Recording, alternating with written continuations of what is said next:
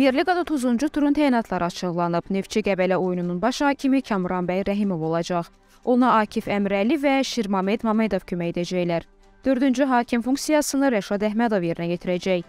Hakim inspektor Gülağa Cabarov, AFA nümayəndəsi Bəhrab Qurbanov, var hakimi Rauf Allahverdiyev, var hakiminin köməkçisi Elşad Abdullayev olacaq.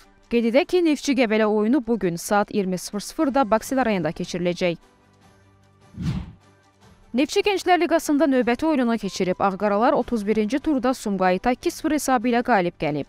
Kapital Bank Arenada baş tutan maçda qolları Vüqar Əlizadə və İbrahim Piriyev vurublar. Qeyd edək ki, Neftçi 28 oyundan 63 xalla ikinci yer tutur.